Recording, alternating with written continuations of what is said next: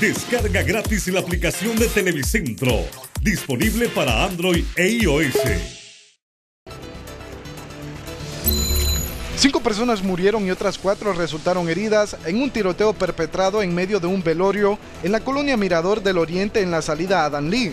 El hecho se produjo a eso de las 11 de la noche, cuando individuos encapuchados ingresaron a la residencia donde velaban a Iván Ramírez, un cobrador de buses rapidito de la ruta Villavieja, asesinado a la una de la madrugada del lunes sin importarles la presencia de niños y madres de familia y mucho menos el luto de los familiares, los delincuentes abrieron fuego contra todos los presentes. Cuatro personas murieron al instante a la par del féretro. La quinta víctima murió a las horas de ingresar a emergencia del máximo centro asistencial, donde también permanecen las otras cuatro personas heridas producto de la balacera.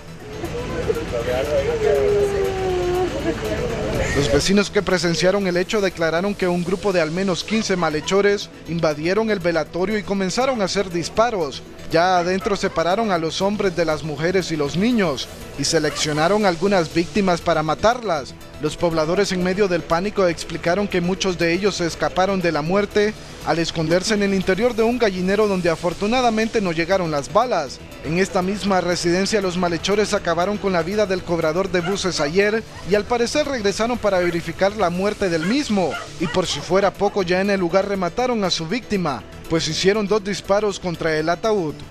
Las víctimas del lamentable suceso fueron identificadas preliminarmente como Andrés Medina de 19 años, Carlos Ponce de 17, Juan Gabriel Guillén de 18 y Juan Fernando Gómez de 16 años de edad.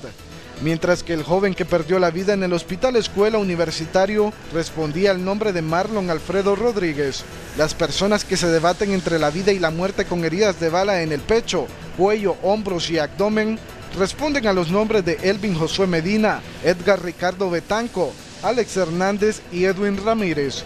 Esta es la primera masacre del departamento de Francisco Morazán, pero la décima a nivel nacional en los primeros 40 días de este 2017, que han dejado como saldo la muerte de al menos 30 hondureños. Roger Rubio, Telenoticias.